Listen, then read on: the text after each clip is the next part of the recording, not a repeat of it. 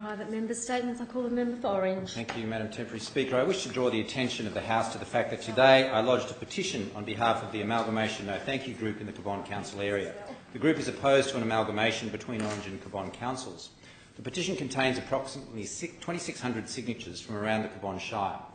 I should state that I do not have a blanket opposition to all forced council amalgamations, and indeed there may very well be good reasons why councils should merge, particularly in heavily populated areas where there is a significant duplication of services in a relatively small geographical area. However, what may be true for the city should not necessarily be true for the country, and one size does not fit all, and each potential merger should be assessed on its merits. In the case of both Orange and Cabonne councils, these merits were assessed in the report of Morrison and Lowe, Morrison Lowe dated uh, May 2015.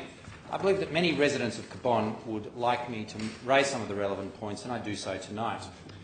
The Morrison Lowe report uh, states at page 5 that both councils can meet the Fit for the Future benchmarks throughout the period from now until 2023, as there is no funding gap. And in addition, each council is showing an operating performance funding surplus for the modelling period, providing increased discretionary funding if required. The report goes on to state at page 7 that both councils carry low levels of debt, with Cabonne having almost none at all. It states further that both councils meet fit for the future benchmarks debt servicing ratio, ratios, which I think is very positive. The Morrison Lowe report also points out at page 12 that Cabonne will meet all of the benchmarks over the period until 2023, with Orange Council projected to meet all of the benchmarks over most of the modelling period. At page 18, the report goes on to state that neither council has a funding gap between what is spent currently and what we estimate uh, to be needed.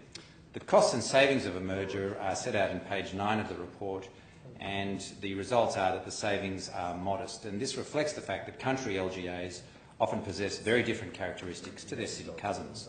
In terms of scale and capacity, the Morrison Lowe report states that the combination of Orange and Cabonne has limited impact on improving scale and capacity overall and that reference can be found on page 51 of the report.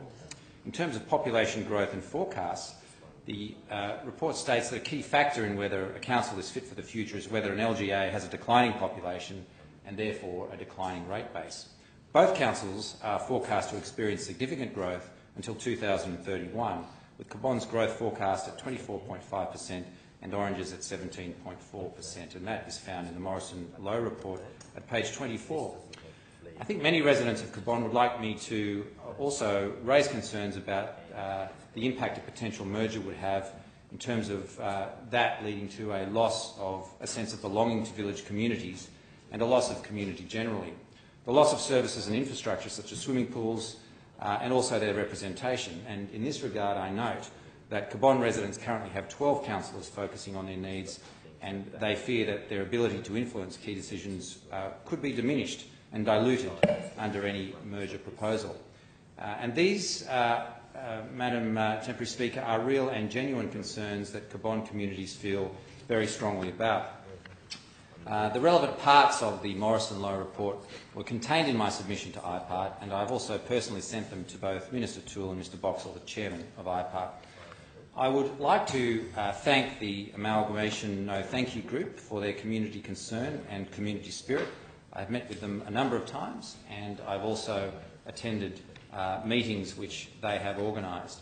And I think it's very important for country communities to be discussing these issues that affect uh, their representation and indeed the shape of their communities. And I think that overall the discussion uh, and the, uh, the debate has been uh, in a very positive light.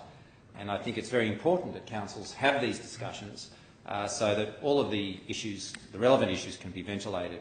And indeed, uh, in the case of Orange and Cabonne, these issues have been crystallised in that report of Morrison Lowe. And uh, I would like to uh, thank all parties uh, for their interest uh, in this particular topic.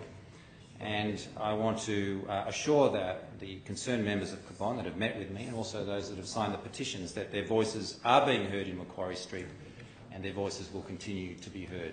Thank you.